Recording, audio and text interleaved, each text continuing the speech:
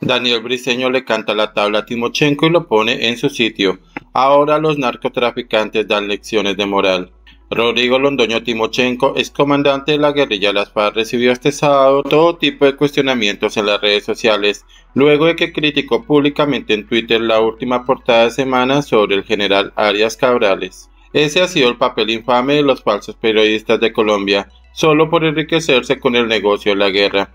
Yo participé en una guerra atroz. He asumido la responsabilidad por mi actuación y trabajo por las víctimas y sus derechos, escribió el exguerrillero que se desmovilizó en el proceso de paz con el gobierno Santos. Ante estas polémicas declaraciones, el abogado Daniel Briceño no se quedó callado y le respondió rápidamente al líder del Partido Comunes a través de esa misma red social. Además, no le tembló el pulso para calificarlo del narcotraficante y delincuente. Ahora los narcotraficantes y delincuentes son los que dan Lecciones de moral y legalidad. Esto es de no creer. Fue el mensaje que escribió el jurista, que actualmente es uno de los líderes de la oposición, para acompañar la publicación que recibió decenas de comentarios de apoyo.